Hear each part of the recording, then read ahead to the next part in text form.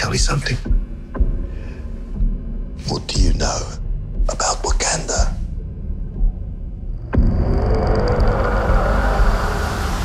It's a third world country.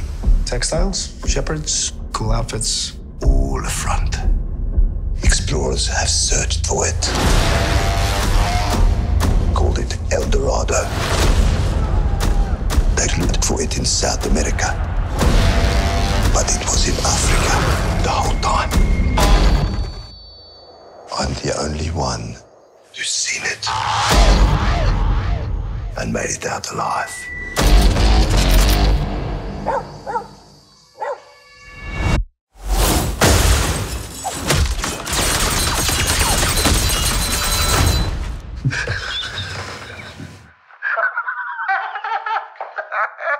I can see you.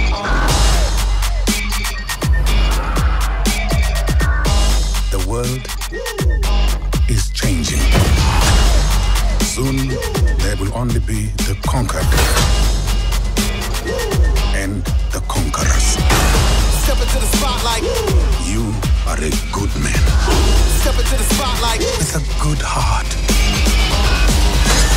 And it's hard for a good man to be a king.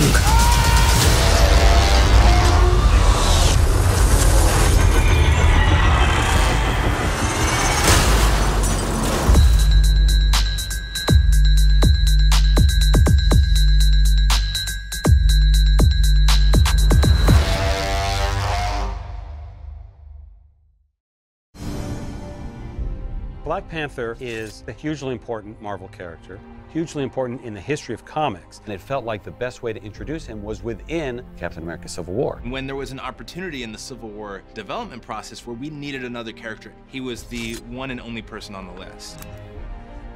Introducing Black Panther was really exciting for us and sort of fortified our belief that he deserved his own standalone movie.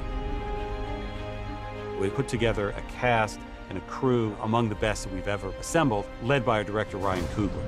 Panther, he kind of exists in a gray area. And in addition to being a soldier, he has a more important job, which is a politician. He's constantly making these choices in the fog of politics and in the fog of war. We deal with royalty, we deal with royal families, but unlike our other films, it's right here on Earth. We get to explore different cultures and different aspects of our world. For Black Panther and the world of Wakanda, it's finding those real life touchstones that we think gives the film an integrity, yet still making it something that you've never seen before.